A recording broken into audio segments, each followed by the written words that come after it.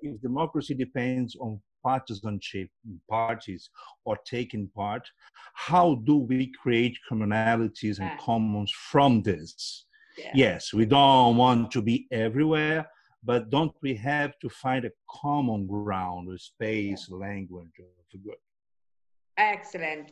This is, we are going to the ABC, to the basic of democracy. Thank you so much. So, yes, there is, there are at least two, two big enormous traditions uh, that tell uh, tell us how the story or interpretation of these uh, parts and the whole. One that starts from the idea that uh, in order to protect the general interest or the general will, we really need to zero to uh, impede the formation of partisan or factional movements or expression. This is a very important one. It has to do with the conception of sovereignty in the classical sense. We know it. We can name it. It's called Hobbes, it's called uh, Rousseau, and so, and so on and so forth. There is another tradition, and, for, and also Schmitt can be put in that tradition. There is another tradition that is one that presumes that the general is the construction that together we make starting from parts look at it's like the rule of the game that we don't know this word very much. We don't like this word very much. But it's an important word. Is uh, why? Because in the moment we start interacting from the point of view of uh, our parts with those who have other parts we create in doing so the common ground. The common ground is a grammar that we create together.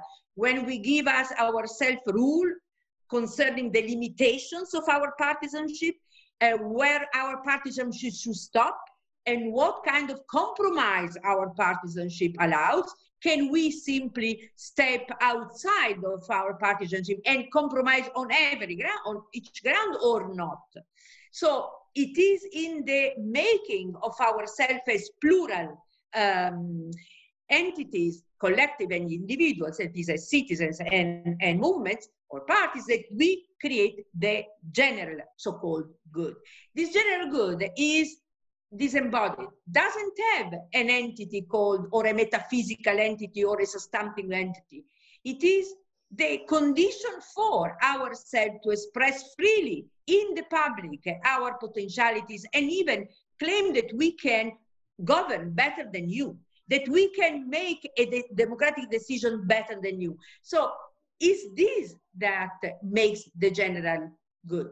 It's not the general good is there before or it, it is somewhere else. It is in the making that we do it. I think Lefort and other important uh, scholars, uh, better than me, uh, wrote about that. Important. I, I, I, like simply to make an example to, to, to be more clear in this case. To be clear in this case, the and uh, excuse me if I uh, if I go back to Gramsci again, but this is my vice perhaps. So in his uh, in one of the of his uh, uh, writings when he was young before going to jail, he wrote a beautiful piece uh, comparing um, a game that Italians men Italians men do in the cafe on with cards. There are four people playing scopa or other kinds of games, four people generally, and the football in England. So they are both two games. They have some rules, but in one case, uh, the game goes on with the winners and losers and people fighting and people with the arbiter, with the, somebody you know controlling them but they know what to do.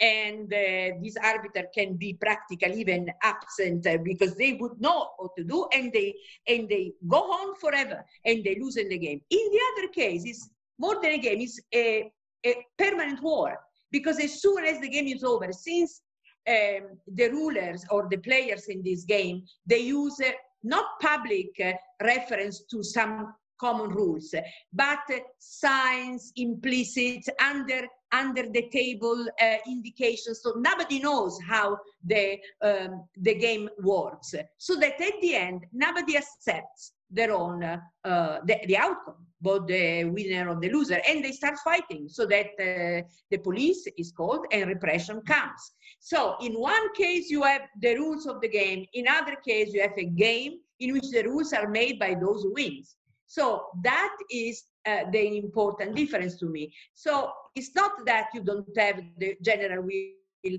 or the general good or the general common interest if you are a partisan, because the partisan presumes other partisans. The partisan is never alone. It's never one party. You don't have one partisan or one party. One party means nothing. Either there are more than one, or one party is a total regime or is an absolute domination. So this means limitation of power, limitation of conflict. This is conflict indeed. Limitation of what you can do and not. And this is the construction of the general uh, interest, of the common good, in my view. In Machiavelli sense, it's the buoni ordini, the good orders that allows you to uh, do this game uh, endlessly without stopping.